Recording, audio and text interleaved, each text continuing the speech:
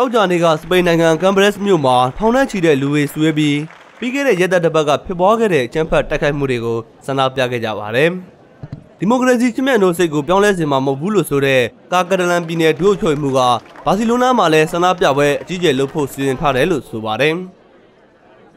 la sociedad catalana y hoy en particular la အ sociedad ကြမ်းဖက်မှုကကျွန်တော်တို့တွေကိုပြောင်းလဲစေမှာမဟုတ်ဘူးကျွန်တော်တို့ရဲ့ဒီမိုကရေစီတရားမျှတမှုနဲ့လူကုန်တိတ်ခါကိုချစ်မြတ်နိုးစိတ်ပြောင်းလဲစေမှာမဟုတ်ဘူးဆိုတာကမ်ဘက်မြို့ရဲ့မြို့သူမြို့သားတွေကိုဒီညမှာပြသလိုက်တာပါမနေ့ပြန်ကြရင်လည်းဘာစီလိုနာမှာဆန္ဒပြပွဲအကြီးအကျယ်လုပ်ဖို့စီစဉ်ထားပါတယ်ကျွန်တော်တို့လူတွေမကြောက်ရွံ့ဘူးဆိုတာလမ်းပေါ်ထွက်ပြီးပြသကြဖို့တိုက်တွန်းပါတယ် aprovechamos para hacer un nuevo llamamiento al conjunto de la ciudadanía para que se movilice para demostrar que no tenemos miedo ဒီစုဝေးပွဲကိုလာရောက်ကြတဲ့သူတွေထဲမှာအိုရီဒိုဟွန်ဂွေရာအပါအဝင်ဘာစီလိုနာရဲ့မြို့တော်အတာဂွန်နဲ့အခြားနိုင်ငံရေးသမားတွေလည်းပါဝင်ပါတယ်။အော်ဂိုလာ16နဲ့18ရက်တွေမှာဖြစ်ပွားခဲ့တဲ့ဘာစီလိုနာနဲ့ကမ်ဘရဲကအကြမ်းဖက်တိုက်ခိုက်မှုတွေမှာလူ15ယောက်သေဆုံးပြီး120ကျော်ဒဏ်ရာရရှိခဲ့ပါတယ်။အကြမ်းဖက်အဖွဲ့ IS က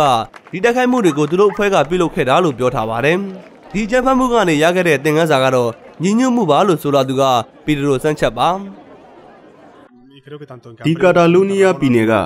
ကမ်ဘရက်စ်နဲ့တခြားစပိန်နိုင်ငံအနှံ့မှာတော်တော်ရှုပ်ထွေးတဲ့အခြေအနေနဲ့ရင်ဆိုင်နေရပါတယ်။ဒါပေမဲ့ကျွန်တော်တို့ရလိုက်တဲ့တင်ကန်းစာကတော့ညီညွတ်ဖို့ဆိုတာပါပဲ။ဒီမိုကရက်တစ်ပြည်သူလူထုအနေနဲ့စိတ်ဝမ်းမကွဲပဲညီညွတ်ရမယ်။ဘာဖြစ်လို့လဲဆိုတော့လူအသက်နဲ့အခွင့်အရေးကိုတန်ဖိုးထားတဲ့ကျွန်တော်တို့ပြည်သူလူထုတွေကပွင့်လင်းတဲ့မတူကွဲပြားတဲ့လူအတိုင်းဝိုင်းကိုလိုချင်တဲ့အတွက်ပဲဖြစ်တယ်။